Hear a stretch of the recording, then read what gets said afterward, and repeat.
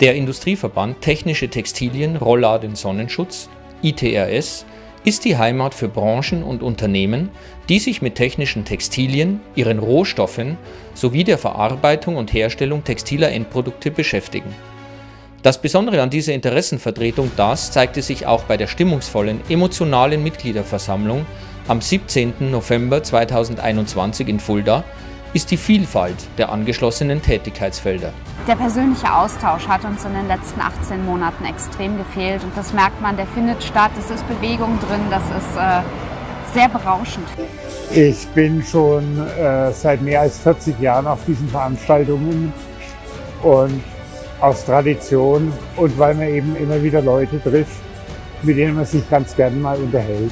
Man kann hier einfach mit den Partnern, äh, ich bezeichne meinen Wettbewerb als Partner, ja, man kann sich austauschen und man kann das Netzwerk nutzen, um äh, Dinge zu erörtern und auch gemeinsame Interessen nach vorne zu bringen. Den größten Mehrwert sehe ich durch den Austausch mit Kollegen, aber auch gerade mit Herstellern, weil man sich hier auf einer ganz anderen Ebene trifft.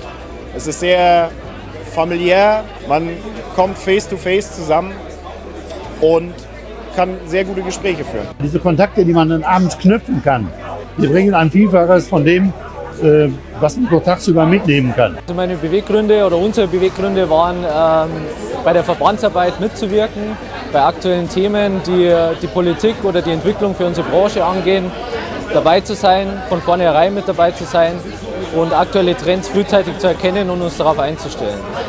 Also die Situation in den Verbänden ist gerade bei dem äh, ITRS sehr, sehr unterschiedlich. Wir haben also Firmen dabei, die haben äh, eine super Auftragslage, eine super Zeit gehabt jetzt durch den Cocooning-Effekt. Das ist insbesondere im Sonnenschutzbereich. Wir haben Firmen, die haben bitter gelitten, beispielsweise unsere Zeltvermieter und äh, Zeltbauer. Insofern ist alles dabei und äh, wir freuen uns umso mehr, dass die Leute den Spaß und die Zeit gefunden haben, hier bei uns zu sein.